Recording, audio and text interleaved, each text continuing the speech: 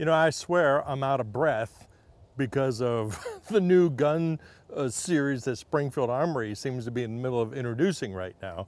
It seems like just the moment we get one video out or one article out, there's another just as interesting or even more interesting something happening. And this week, they introduced their new Ronin uh, EMP. Now the EMP has been around for years. 12, 15 years at least, I think.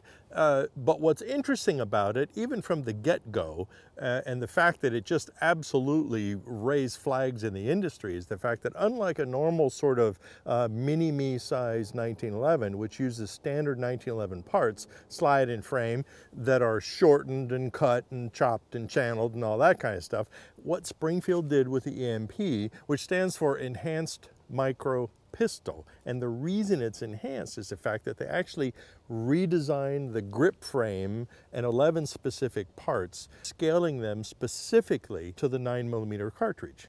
So since the EMP is specifically made for a 9 millimeter cartridge, it means that there's less of a reach fore and aft, which means the grip frame profile is uh, slimmer and shorter, which means for guys like me who have small hands, I can suddenly grip the gun really securely and reach the trigger and be comfortable.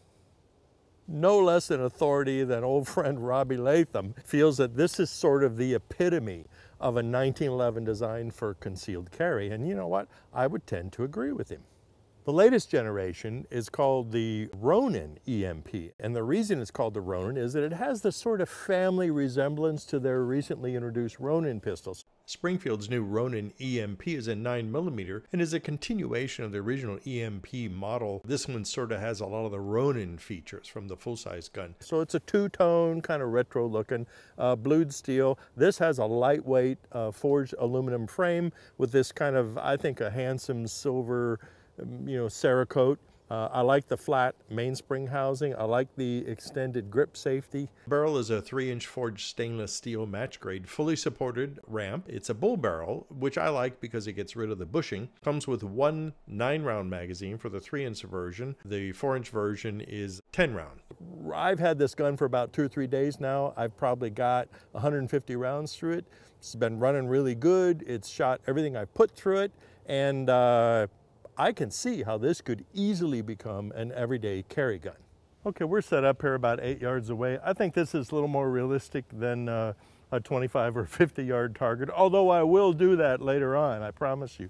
So I'll put a few rounds downrange slow fire uh, just to kind of get the cadence and get the feel. And then I'll shoot a little faster and let's see what happens. So far this gun has been shown to me to shoot a little high and a little left. So there'd be some zeroing involved if I were to keep this gun. All right, let's see what happens here.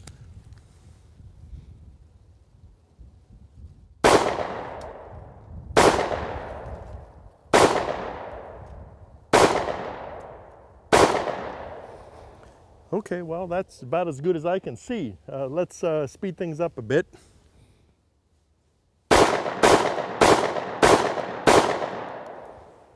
Okay, well, that was me. I will say though, um, it's a little snappy, and I think if you are going to carry a gun like this, you should take the time to get familiar with it and how it feels, how you react to it, and uh, get your gun handling skills down really well. Well, there you have it, a little bit of a quick look there at the new Springfield Armory Ronin EMP. Uh, $849 at full MSRP. I think it's actually a lot of a little gun for that much money.